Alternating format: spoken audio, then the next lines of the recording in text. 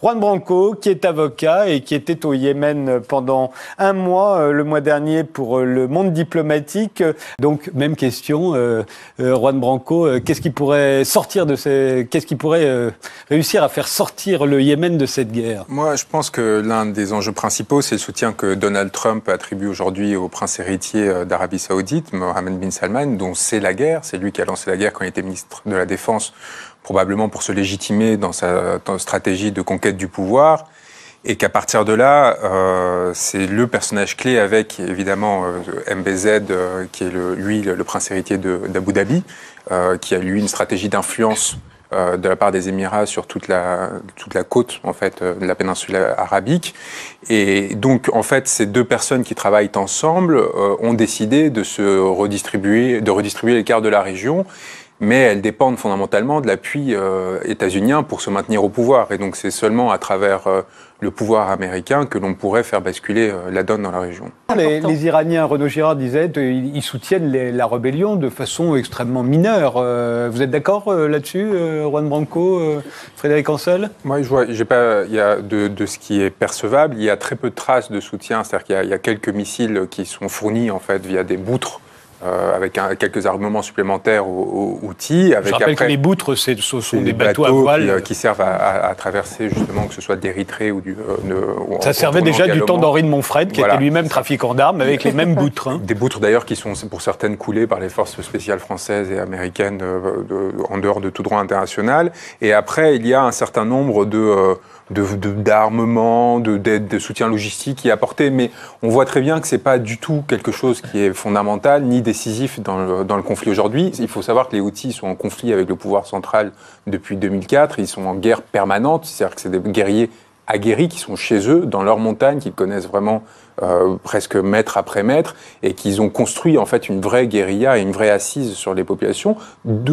qui, au départ, ne partait, pour une partie euh, des, zones qu'ils contrôlent aujourd'hui, ne partageaient pas justement le, schisme qui est le leur, et qui pourtant, ils, ils tiennent aujourd'hui.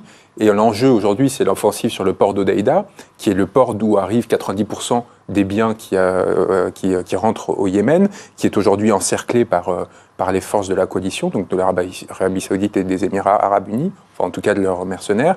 Et ce port qui pourtant n'appartient pas à la zone d'influence habituelle des Houthis, et tient, et les populations tiennent, alors qu'en fait la stratégie saoudienne était de, créer, de provoquer un exode massif de cette ville et d'à partir de là la faire tomber d'elle-même en l'encerclant. Ça n'a pas du tout été le cas et du coup ça fait quasiment un an que l'offensive s'est enlisée et c'est ce qui provoque une catastrophe humanitaire. Je voudrais dire un mot quand même sur les chiffres qui sont répétés depuis quasiment trois mm. ans, les mêmes chiffres, 10 000 morts par an qui n'ont pas évolué. En fait, c'est pas du tout le cas. Save the Children, par exemple, évalue à près de 50 000 enfants qui meurent chaque année des conséquences, du fait des conséquences de, de la guerre. Sauf que, comme il y a très peu d'organisations humanitaires, très peu de, de, membres de l'ONU et aucun journaliste, sauf sous contrôle excessif à la fois des outils qui sont complètement paranoïaques euh, pour l'avoir vu et de, de, la coalition, eh bien, il n'y a pas d'actualisation de ces données, il n'y a pas d'accès en fait à, l'évolution de la situation. Alors venons-en à la France qui se retrouve, euh, je l'ai dit, plutôt sous pression maintenant en tant que, que, vendeur d'armes à l'Arabie Saoudite, mais des armes on en vendait depuis longtemps euh, et on n'est pas les seuls, il y a les États-Unis aussi. Et, pas que, c'est-à-dire que le, Figaro a révélé que les forces spéciales étaient impliquées dans, dans le conflit. Nos forces spéciales ou les, nôtres, oui, les Il y a nos chars, euh, ça c'est Wikileaks qui l'a révélé récemment, les chars Leclerc qui ont été vendus aux Émirats Arabes Unis, qui sont ceux qui sont utilisés par les Émirats sur place. Il semblerait que la France aide euh, dans le recrutement des mercenaires, parce que comme vous le disiez, ce pas des soldats émiriens et a, fortiori des soldats euh, de l'Arabie saoudite qui sont impliqués dans, le, conflit, même si certains des Émirats les plus pauvres des Émirats arabes unis fournissent euh, quelques, quelques soldats et se sont plaints auprès du, du prince héritier d'Abu Dhabi du fait que c'était les leurs qui tombaient et pas ceux d'Abu Dhabi comme par hasard. Mais c'est surtout en fait on, sur le terrain des, euh, des, euh, des, Soudanais, euh, des Tchadiens quelques-uns, des Centrafricains même et des Colombiens. C'est-à-dire que ça a été d'ailleurs révélé. C'est-à-dire il y, a, il y a des troupes de choc colombiennes qui ont été recrutées pour former les mercenaires sur place et qui sont envoyés justement contre contre ces outistes qui, qui sont chez eux. Je voudrais juste dire d'ailleurs un point sur les liens entre les outistes et l'Iran. Le, et, et En effet, en fait, l'un des seuls liens qui existent et qui explique en fait le fait que médiatiquement et politiquement, ils s'inscrivent dans cet axe chiite, avec notamment des allers-retours euh, à Damas pour essayer de se, revendiquer du soutien du pouvoir de Bachar al-Assad, dont on devine bien qu'il n'est pas vraiment capable de donner un appui opérationnel à quiconque en dehors de son pays. Euh, c'est le fait que la famille euh, qui, euh, qui est au pouvoir du côté des rebelles, c'est notamment formé à Coms. Donc, mais donc c'est des liens c'est vraiment des liens, c'est-à-dire qu'ils ont rencontré des gens en Iran qui, qui leur ont servi de relais, qui eux-mêmes après ont intégré l'élite euh, du pouvoir iranien et qui du coup leur servent un peu, mais c'est des liens très peu, euh, très très intangibles, quoi, très faibles. Et donc après sur la France, moi j'ai quand même une histoire incroyable, c'est-à-dire que moi l'ambassade de France à Djibouti a essayé de m'empêcher de partir au Yémen. Et je l'ai su par hasard parce que je suis allé voir prendre mon visa à l'ambassade du Yémen, donc du côté de la coalition à Djibouti.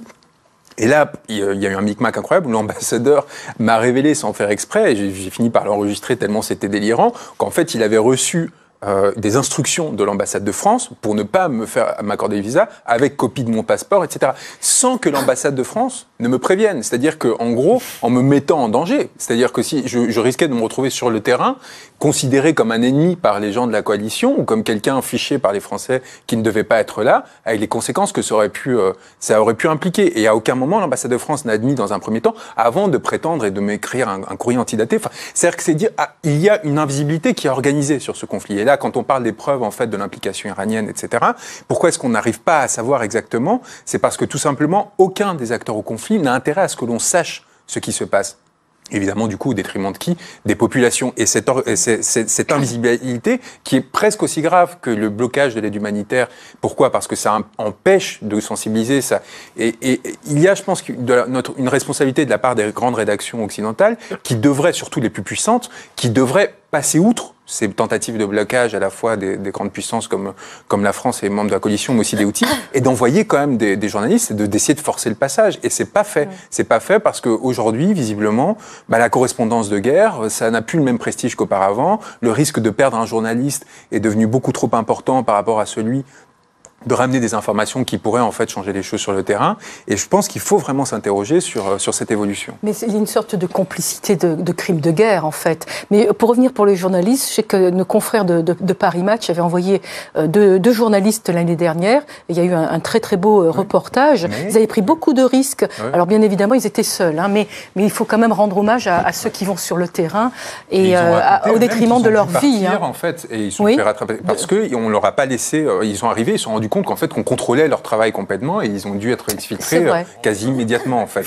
Là, qui était installé, c'est-à-dire qui, qui, éditait justement le, le, magazine qui était lu. Enfin, c'est là aussi où les, euh, où les, les frères Kouachi sont rendus avant mm. l'attentat de Charlie Hebdo. C'est-à-dire que, en fait, le Yémen étant est l'épicentre de la guerre contre le terrorisme depuis des années, c'est pas pour rien qu'il y a six bases militaires qui ont été ouvertes à Djibouti en l'espace de quelques années par les Italiens, les Russes, les Français, les Américains, les Chinois, et non pas les Russes, pardon, c'est les seuls qui, qui pour l'instant ne sont pas installés, mais Chinois. les Chinois et les Japonais, euh, c'est justement parce que l'on on en a fait, en fait, il y a évidemment le, le, la traversée du détroit de Bab el-Mandeb pour aller vers le canal de Suez, mais il y a la question de, de, cette, de, de ce pays qui était devenu en fait un enjeu stratégique très important. Ce qui fait que vous demandiez pourquoi est-ce que tout d'un coup maintenant on lui accorde l'attention, c'est parce que quand en 2015 il y a cette offensive qui était censée être une offensive éclair qui est déclenchée par euh, par, euh, par, euh, par, par, par, par Bin Salman, il y, a, il, y a, il y a cette idée que finalement ça s'inscrit dans un territoire qui est déjà en guerre depuis des années et qu'il s'agit un peu de nettoyer les choses. Et on a, en fait, l'imaginaire est déjà saturé, l'imaginaire collectif est déjà saturé par rapport à Yémen,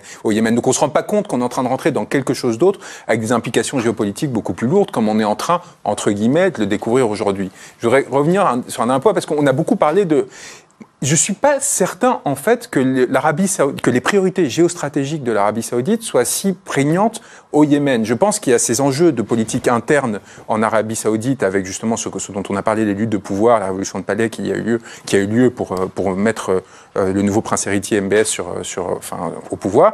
Mais il y a derrière, quand même, en fait, là où il y a un vrai enjeu géostratégique, c'est encore une fois pour Abu Dhabi. Et euh, MBZ, qui est quand même était dans une lutte avec Dubaï pour s'affirmer avec Al Maktoum pour s'affirmer vraiment sa prééminence sur, euh, sur les Émirats arabes unis, a décidé d'une stratégie d'expansion qui passe par les ports, en fait, dans, presque une sorte d'acceptation du fait que le fonctionnement westphalien dans lequel les États-nations avaient leur souveraineté sur leur, euh, sur leur territoire s'achevait qu'on pouvait redevenir en fait à, des stratégies un peu en, en, en, oui, en collier, quoi. C'est-à-dire en collier de terre, c'est-à-dire avec le contrôle des ports qui devenait en fait l'enjeu principal. Quand vous voyez la façon dont est investi le Yémen aujourd'hui, que ce soit l'île de Socotra, le port d'Aden, maintenant le port d'Odeida, etc., il y a une véritable volonté là de construire une continuité qui après en fait trouve sa continuité et la construction d'un nouveau port en Érythrée, la tentative de construction d'un port à Djibouti qui, qui a été en fait euh, arrêté par les Chinois qui ont décidé en fait de reprendre le port qui a été construit par par Dubaï. Donc et, et, et à travers ça en fait, il y a, ils retissent des alliances entre Abu Dhabi et Dubaï où en gros on, offre à Dubaï la possibilité, justement, avec son expertise euh, portuaire, de se redéployer sans se sentir trop humilié après son écrasement lors de la crise qui a, connu la, cité-État cité il y a quelques années. Et sur Al-Qaïda, un, dernier, peut-être un petit point, euh, en effet, c'est-à-dire que le port de, il y a des ports aujourd'hui qui sont contrôlés par Al-Qaïda. C'est-à-dire il y a des villes entières qui sont contrôlées par Al-Qaïda. Et une, une, enquête, une très longue enquête de Associated Press cet été a montré que c'était fait en alliance avec euh, les Émirats arabes unis qui fournissaient souvent des doubles soldes aux soldats d'Al-Qaïda, c'est-à-dire qu'ils sont payés par Al-Qaïda et ils sont payés par Abu Dhabi en même temps pour assurer le contrôle sur une, partie des zones. Ça, c'est beaucoup euh, plus, et c'est évidemment beaucoup plus gênant parce que on revient euh, à, au, traumatisme de l'Afghanistan où les Américains soutenaient l'ISI pakistanais, c'est-à-dire les services militaires pakistanais qui étaient tout à fait islamistes et qui, euh, dans la lutte contre les Russes en Afghanistan, euh, soutenait en fait les factions les plus anti-occidentales également, qui aujourd'hui d'ailleurs euh, se battent avec Mathia, et alors, justement, qui se battent contre les, les, les Occidentaux. Et donc c'est un jeu extrêmement dangereux on les drone d'un côté et de l'autre, on leur donne en joué par, les Émirats, le, contrôle sur des pans entiers du territoire. C'est quand même c'est sidérant. Et en gros, pourquoi est-ce que c'est si important Abu Dhabi et les Émirats sont si importants? Parce qu'il y a un ambassadeur dont la crise entre, entre l'Arabie Saoudite et le Qatar a provoqué toute une série de piratages, notamment de l'ambassadeur des Émirats Arabes Unis euh, aux États-Unis, qui en fait se trouve être l'âme damnée de MBZ, donc du prince héritier d'Abu Dhabi, qui lui-même est considéré comme le mentor de MBS. Et c'est-à-dire qu'en fait, la stratégie d'Arabie le prince héritier d'Arabie Saoudite, la stratégie de MBS, ce serait, serait en fait le fruit de son rapport avec MBZ, qui elle-même en fait est constituée par. Et un des éléments très importants de ça, c'est que comment est-ce que le prince héritier d'Arabie Saoudite installe son pouvoir? C'est la visite de Trump la visite de Trump, qui est la première visite d'État de Trump après son élection, qui va justement à Riyad et qui, du coup, fait venir avec lui près, de 60 chefs d'État qui viennent en quelque sorte reconnaître ce qui avait été jusque-là un coup d'État. C'est une révolution de palais, vraiment, avec une, en gros, avec une agilité très précaire. Et ça, c'est organisé par, pourquoi? Parce que l'ambassadeur à Washington des Émirats Arabes Unis est très proche, très proche de Jared Kushner, donc du gendre de, Donald Trump. Et c'est lui qui, en fait, du coup, vous imaginez l'emprise et, l'influence que, peuvent avoir, que peut avoir le prince héritier euh, d'Abu Dhabi aujourd'hui sur, sur Riyad et justement, du coup, comment ils peuvent utiliser l'Arabie Saoudite pour mettre en place leur stratégie d'expansion régionale, alors qu'en fait, théoriquement, le rapport de force est complètement défavorable aux Émirats Unis, qui est un petit pays en termes de ressources. Et puis ça... Branco et Renaud Girard. Euh, bah, moi, sur, de ce que j'ai vu un peu euh, autour de, de, de, l'offensive d'Odeida, c'est que ça va être très difficile quand même pour les Saoudiens qui quand même font monter euh, leurs avions de chasse au-dessus euh, des, altitudes normales de lesquelles ils devraient bombarder par peur de se faire descendre parce que aucun, aucun Saoudien veut mourir en fait dans cette guerre et du coup bombarde n'importe comment. J'ai beaucoup de mal à voir comment est-ce qu'ils vont réussir à prendre la ville de Daïda qui est complètement minée, qui a été préparée au siège depuis plus d'un an euh, par les houtistes et qui, et qui du coup est, est, vraiment prête à, une offensive lourde qui d'ailleurs n'intervient pas. C'est-à-dire qu'on parle beaucoup là de, l'accroissement des tensions. Dans les faits, il y a eu 30, euh, 40 morts, euh, à deux ou trois reprises, plutôt des militaires en l'occurrence. C'est-à-dire l'offensive n'est pas une offensive massive du coup, parce qu'ils n'arrivent pas à, trouver les forces vives et même leurs mercenaires n'ont pas envie d'aller se faire massacrer, euh, enfin se faire tirer par les snipers et les Kalachnikov qui sont placés partout autour des faubourgs de la ville. Donc ils ont pris euh, le début, un début de ville euh, dans, vraiment la, partie euh, sud, mais ils n'arrivent pas, ils arrivent pas à avancer, alors que ça fait depuis quand même maintenant plus d'un an que, l'offensive a vraiment commencé et qu'elle a repris il y a depuis septembre. Et donc, et tant que Odeida n'est pas prise, Sanaa, qui est la capitale qui est prise par les Houthis, tiendra, tiendra parce qu'elle a un accès à l'extérieur et elle peut s'apprévisionner encore. et donc à partir de là, cette guerre ne me semble pas gagnable. Donc une sorte d'offensive comme ça qui permettrait de faire basculer le rapport de force, à mon avis, est vouée à l'échec.